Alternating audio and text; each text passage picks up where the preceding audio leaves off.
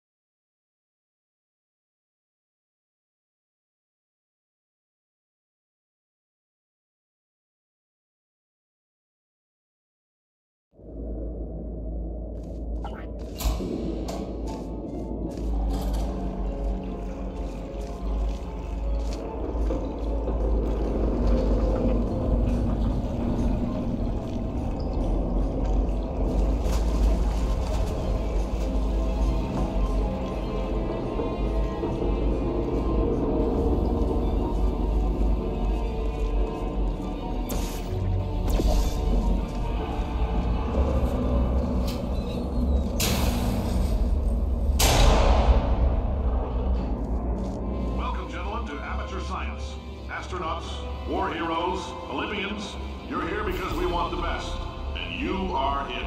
So, who is ready to make some science? I am.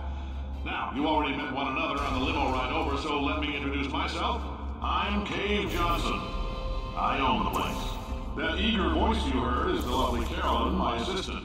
Rest assured, she has transferred your honorarium to the charitable organization of your choice. Isn't that right, Caroline? Yes, sir, Mr. Johnson. She's the backbone of this facility. Pretty as a postcard, too. Sorry, fellas. She's married. To science. There's a thousand tests performed every day here in our enrichment spheres. I can't personally oversee every one of them, so these pre-recorded messages will cover any questions you might have and respond to any incidents that may occur in the course of your science adventure. Your test assignment will vary depending on the manner in which you have bent the world to your will. Those of you helping us test the repulsion gel today, just follow the blue line on the floor. Those of you who volunteered to be injected with praying mantis DNA, I've got some good news and some bad news. Bad news is we're postponing those tests indefinitely.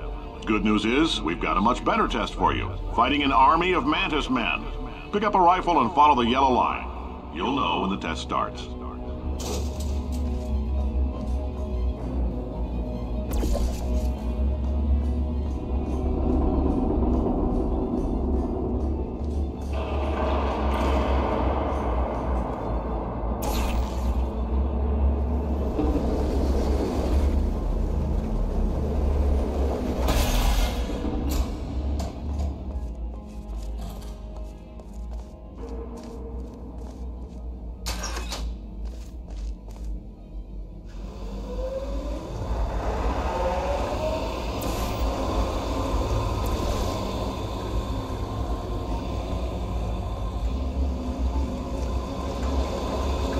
Say great science is built on the shoulders of giants. Not here. At Aperture, we do all our science from scratch. No hand-holding.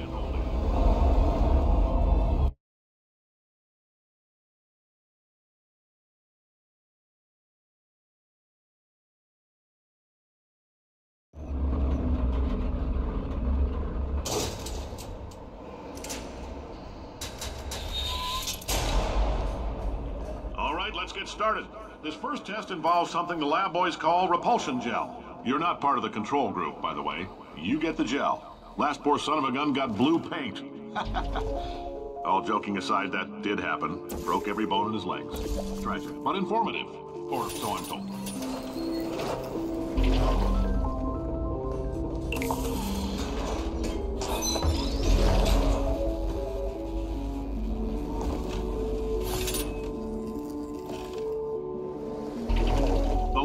Just informed me that I should not have mentioned the control group. They're telling me I ought to stop making these pre-recorded messages. That gave me an idea. Make more pre-recorded messages. I pay the bills here, I can talk about the control group all day. For this next test, we put nanoparticles in the gel. In layman's terms, that's a billion little gizmos that are going to travel into your bloodstream and pump experimental genes and RNA molecules and so forth into your tumors. Now, maybe you don't have any tumors. Well, don't worry. Chair the lobby and weren't wearing lead underpants, we took care of that too.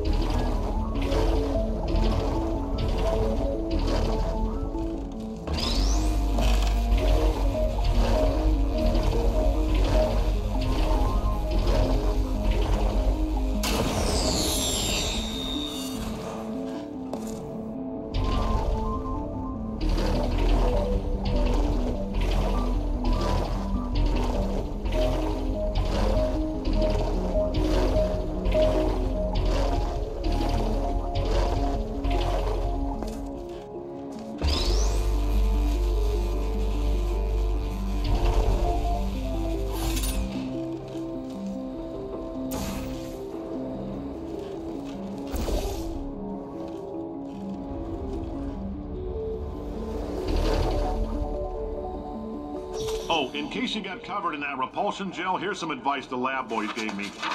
Do not get covered in the repulsion gel. We haven't entirely nailed down what element it is yet, but I'll tell you this, it's a lively one, and it does not like the human skeleton.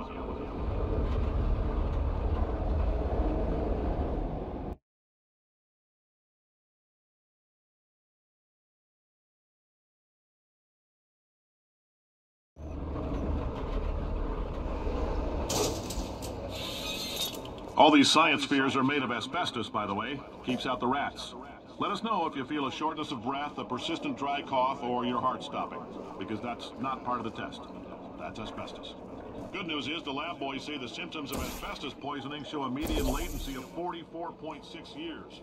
So if you're 30 or older, you're laughing. I like your style. You make up your own rules, just like me. Bean counter said I couldn't fire a man just for being in a wheelchair. Did it anyway. Ramps are expensive.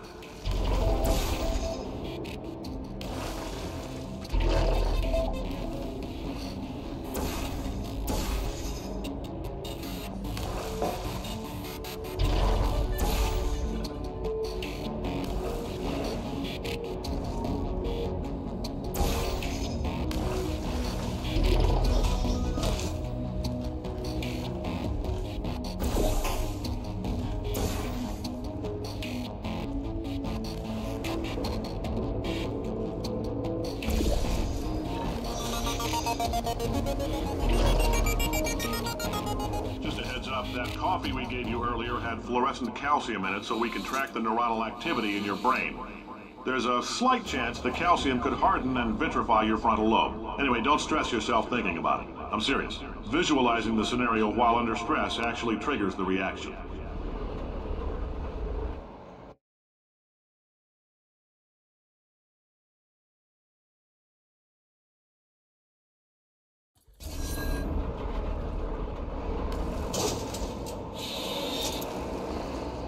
Now, if you're part of control group Kepler-7, we implanted a tiny microchip about the size of a postcard into your skull. Most likely you've forgotten it's even there. But if it starts vibrating and beeping during this next test, let us know. Because that means it's about to hit 500 degrees, so we're gonna need to go ahead and get that out of you pretty fast. I'm telling them, keep your pants on. All right, this next test may involve trace amounts of time travel. So, word of advice, if you meet yourself on the testing track, don't make eye contact. Lab boys tell me that'll wipe out time. Entirely. Forward and backward. So, do both of yourselves a favor and just let that handsome devil go about his business.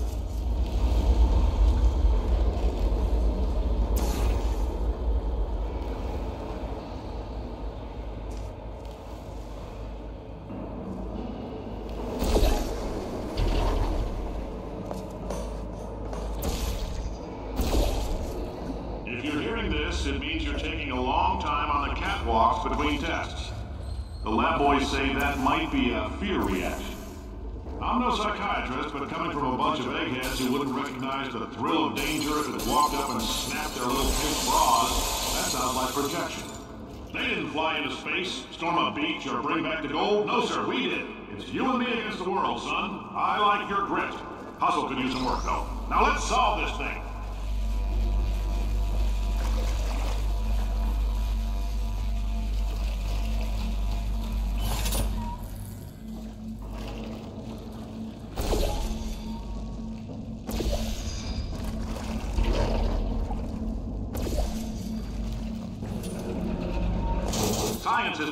Why, it's about why not. Why is so much of our science dangerous? Why not marry safe science if you love it so much? In fact, why not invent a special safety door that won't hit you on the butt on the way out because you are fired? Now you test subject, you're doing fine.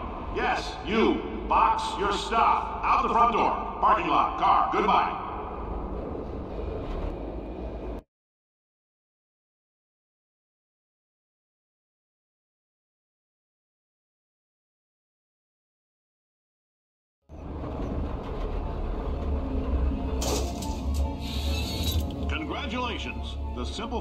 Standing here listening to me means you've made a glorious contribution to science.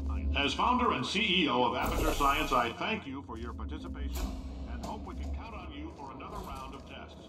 We're not going to release this into the wild until it's good and ready, so as long as you keep yourself in top physical form, there'll always be a limo waiting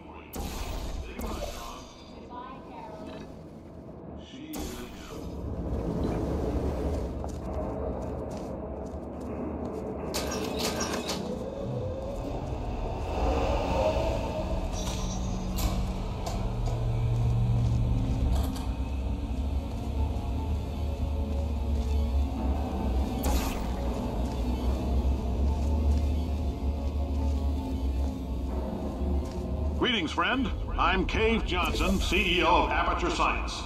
You might know us as a vital participant in the 1968 Senate hearings on missing astronauts. And you've most likely used one of the many products we invented, but that other people have somehow met. Oh, hi. Say, you're good at murder. Oh, thanks. Did you feel that? That idiot doesn't know what he's doing up there. This whole place is going to explode in a few hours if somebody doesn't disconnect him. I can't move, and unless you're planning to saw your own head off and wedge it into my old body, you're going to need me to replace him. We're at an impasse. So what do you say? You carry me up to him and put me back into my body, and I stop us from blowing up and let you go. No tricks. Ow! You stabbed me. What is wrong with. Hold on. Do you have a multimeter? Never mind. The gun must be for magnesium. It feels like